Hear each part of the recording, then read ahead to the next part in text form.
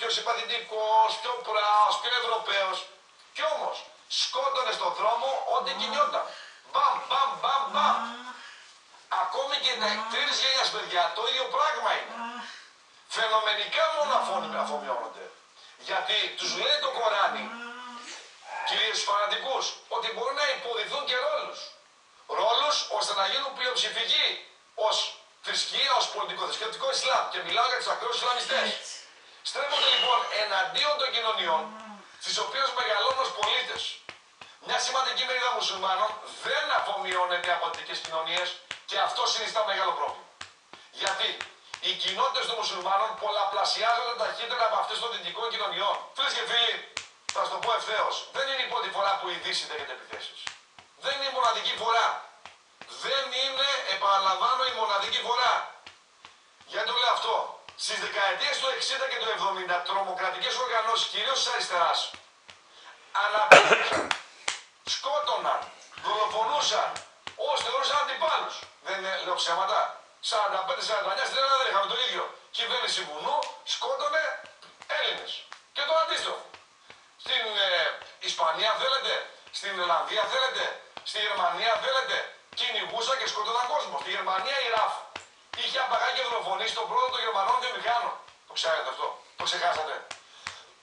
στην Ιταλία οι ερυθρέ ταξιαρχίες αριστερέ ήταν. Τον Άλτο Μόρο, τον πρωθυπουργό της χώρας.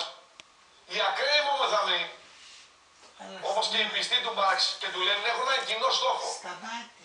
Δείχνουν ελάχιστη ανεκτικότητα απέναντι στις αξίες των δυτικών δημοκρατιών, αλλά η τωρινή Ισλαμική τρομοκρατία, όπως και η αντίστοιχη της δεκαετίας του 70, μπορεί να έχει και παροδικό χαρακτήρα.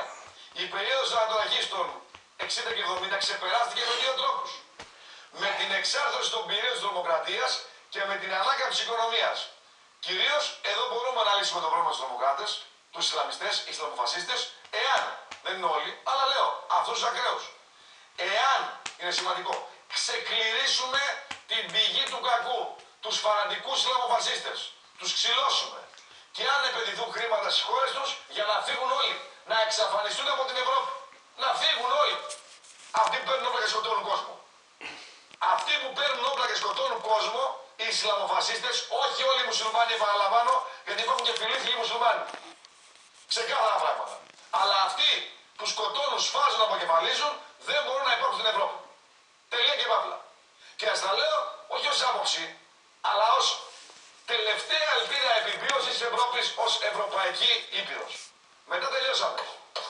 Και για την Ελλάδα ως ελληνική δημοκρατία. Τελειώσαμε αλλιώς. Γι' αυτό λέω μόνο ελληνική λύση.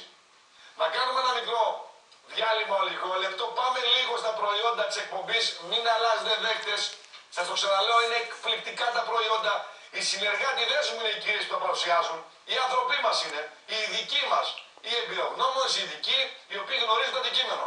Θα σας παρουσιάσω λοιπόν τα προϊόντα. Πάμε λοιπόν στα προϊόντα.